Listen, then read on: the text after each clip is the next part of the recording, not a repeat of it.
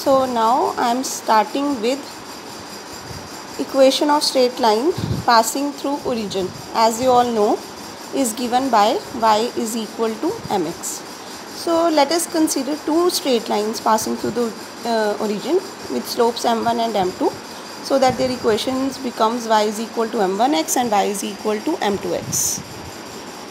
So that to find the joint equation as I told you yesterday also that whenever we have to find the joint equation we will multiply the two equations by making right hand side is equal to 0 so the joint equation will be given by y minus m1x into y minus m2x is equal to 0 तो multiplying this two equations आप अपने आप multiply करके देख सकते हो so you will get Y square minus M one plus M two into X Y plus M one M two X square is equal to zero which is of the form A X square plus two H X Y plus B Y square equal to zero जो कल मैंने आपको बताया था कि हम सिर्फ़ homogeneous part consider कर रहे हैं of the general equation of the straight lines passing through the origin so आप देख रहे हो कि जब आपने जॉइंट इक्वेशन निकाली स्ट्रेट लाइंस की पासिंग थ्रू द ओरिजिन तो आपको इस तरह की इक्वेशन मिली है। So this is the form now this equation can be written as this कुछ नहीं किया, मैंने सिर्फ़ टर्म्स को आगे पीछे किया और उसके बाद मैंने इस इक्वेशन को बी से डिवाइड कर दिया मैं ऐसा क्यों कर रही हूँ?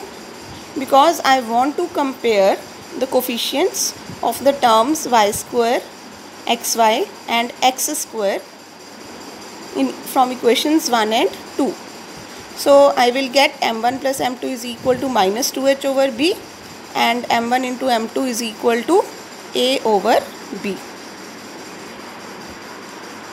again consider the same equation A X square plus two H X Y plus B Y square equal to zero representing pair of straight lines passing through the origin whose general equation is Y is equal to M X तो देखो, ये जो equation number three है, ये represent करती है pair of straight lines passing through the origin and जो equation number four है, ये रिप्रेजेंट करती है equation of one straight line passing through the origin so that means equation number four जो है, वो इक्वेशन नंबर थ्री को satisfy करनी चाहिए. बिकॉज़ थ्री जो है, वो दो इक्वेशंस को रिप्रेजेंट कर रहा है, जो ओरिजिन से पास कर रही हैं. और ये उनमें से एक इक्वेशन एक लाइन की इक्वेशन है जो ओरिजिन से पास हो रही है. So equation number four must satisfy equation number three तो जब हम इक्वेशन नंबर फोर को इक्वेशन नंबर थ्री में यूज़ करेंगे तो मैंने फोर को यूज़ करके थ्री में वाई को एम एक्स पुट किया। यहाँ से ये आ गया एक्स स्क्वायर कॉमन आ रहा है। We know that X is not equal to zero because X is equal to zero जो इक्वेशन होती है, वो वाई एक्सिस की होती है। पता है आपको सबको? तो अब Y axis is not the only line which is passing through the origin so, we are considering x is not equal to 0 so, that means bm square plus 2hm plus a is equal to 0 now, it is a quadratic equation in m. आपने ये पढ़ा है previous classes में कि जब भी कोई quadratic equation होती है तो उससे हमें दो वैल्यूज़ मिलती हैं। टू रूट्स होंगी इस इक्वेशन की। So I have taken let M one and M two be the roots so ये रिज़ल्ट होता है sum of the roots is given by minus two H over B and product of roots is given by so sum of roots क्या होता है? M one plus M two is equal to minus two H over B that is minus coefficient of M over coefficient of M square and product of roots will be A by B that is the constant term divided by coefficient of M square ये मैंने question number five में से find किए हैं values ये भी आपने पहले किया होगा प्लस टू में how to find the sum of roots and product of roots of a quadratic equation so equation number five is a quadratic equation in M जिसकी रूट्स हमने एम वन और एम टू सपोज़ की हैं। तो ये sum of roots और product of roots हमें मिल गए हैं। तो आप ये देख रहे हो, ये जो वैल्यूज़ आई हैं M one plus M two की और एम वन एम टू की दे आर सेम एज़ यहाँ पे हमें जो वैल्यूज़ मिली थी M one plus M two और एम वन एम टू की। तो यहाँ पे हमने ये वैल्यूज़ कैसे फाइंड की थी?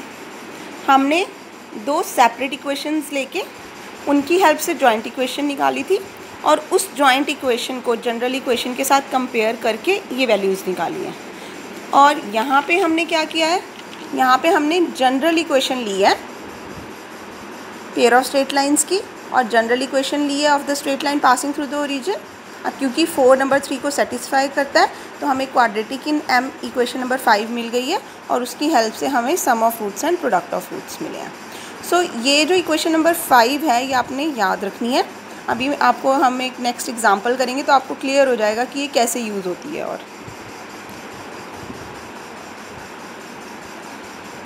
और जब भी हमें जॉइंट इक्वेशन दी होगी पेयर ऑफ़ स्ट्रेट लाइंस की तो हम उसमें हमेशा y is equal to M X put कर देंगे जिससे हमें क्वाड्रेटिक एम एक वैल्यू इक्वेशन मिल जाती है। और उसकी हेल्प से हम m1 और m2 की वैल्यूज़ फाइंड कर लेते हैं जिससे हमें equation of the two separate lines मिल जाती हैं। Let us consider this example first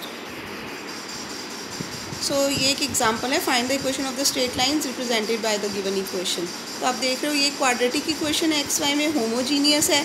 तो इसका मतलब this equation is representing pair of straight lines passing through the origin हमने क्या किया?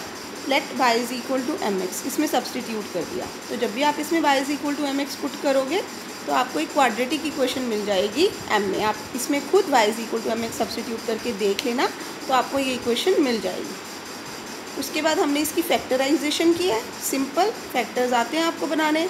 आप डिस्क्रिमिनेंट मेथड भी यूज़ कर सकते हो और फैक्टराइजेशन भी कर सकते हो। आपको पता है क्वाड्रेटिक इक्वेशन कैसे सॉल्व करता है।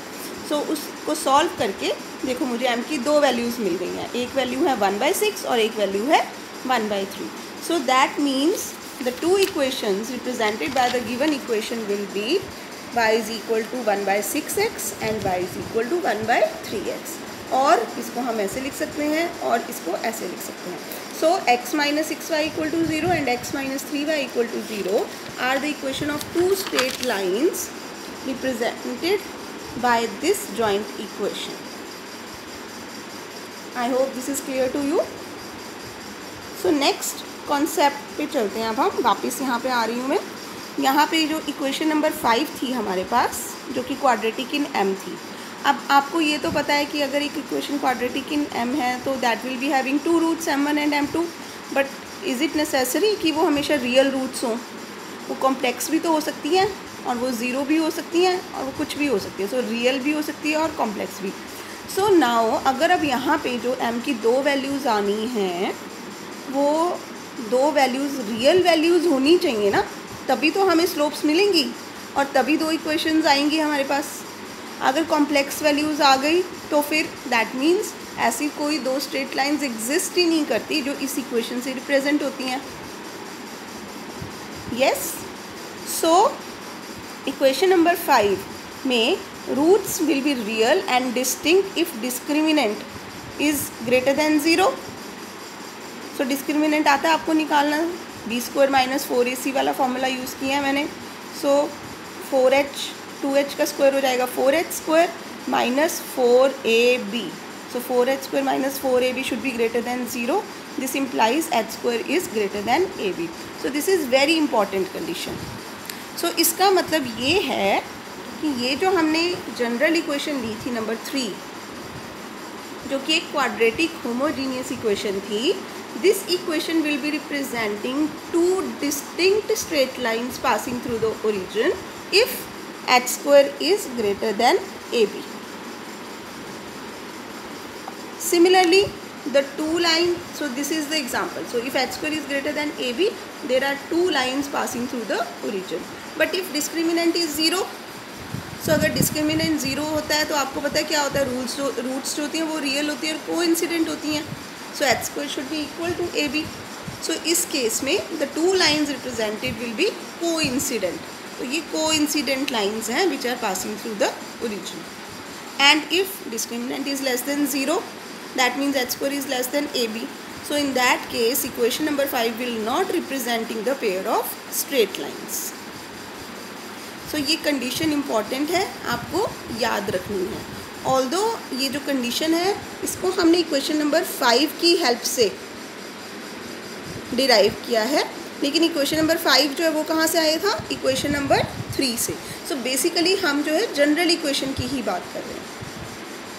So I am repeating the conclusion the conclusion is this equation a x square plus two h x y plus b y square equal to zero will be representing pair of straight lines passing through the origin if h square is greater than or equal to AB. If h square is greater than or equal to AB.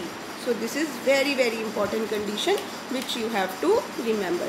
If h square is less than AB then that equation will not be representing the pair of straight lines.